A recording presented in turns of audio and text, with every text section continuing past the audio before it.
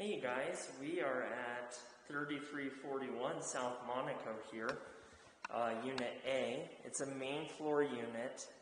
Um, when you first walk in, uh, tile floor here, and then um, not no lighting in this unit um, above, no lamps, no staging. All of it makes it harder to imagine how you would use it. But just think of painting that fireplace, for instance, doing a little bit nicer flooring in here. Um, all that stuff would make a really big difference. Um, really, uh, you know, I, I'm kind of surprised all the upgrades this place has that they didn't do more with the flooring in here. Um, as you uh,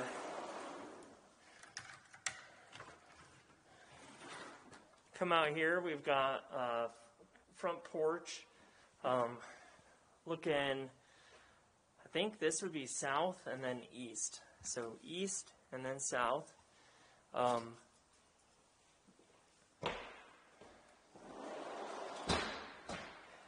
in the, so I mean, you'd want to do the new laminate flooring. Um, probably would want to paint the baseboards. And then you come in here. Only have laminate countertops, but they look really nice. The appliances look pretty decent too. Uh, the cabinets, on the other hand, are not as nice. They're sticky. It's like sticky. It's like they tried to stain them and they're sticky from staining them or something. Yeah, it's weird.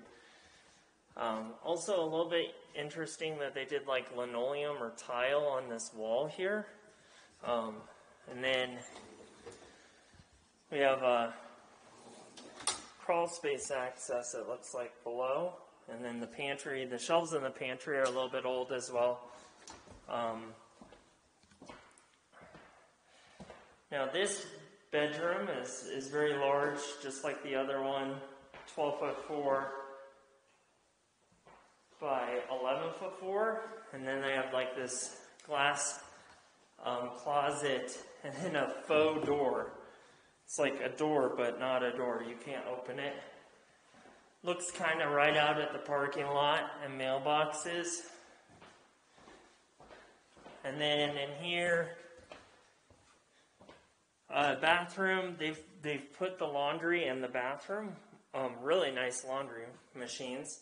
Lower vanity, um, linoleum floor, kind of weird tile on the wall again that doesn't exactly match the tile around the tub.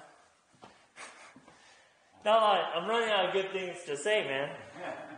Um, from the door to what would be the back of the bed is 14 foot 3 inches. This is south facing, I think, but the building next to you kind of shades it. 11 foot 5 inches wide. Nice dual closets again. Linoleum in here. And I don't know, did you feel how uneven it is right there? Yeah, it's really uneven, the flooring. Yeah. And it's like, it's almost like a lot of DIY work. Yes. A lot of DIY. So it's a real nice idea. Like the pictures of this shower look really nice. In person, it looks pretty janky. Um, looks pretty bad. Um, but a nice tall vanity that doesn't really match anything. And then weird, yeah, they left a gap here. And then this is not a professional caulking job again. So, um, all right, well, we have seen this one. Um, just wanted you to see this one while we were out here.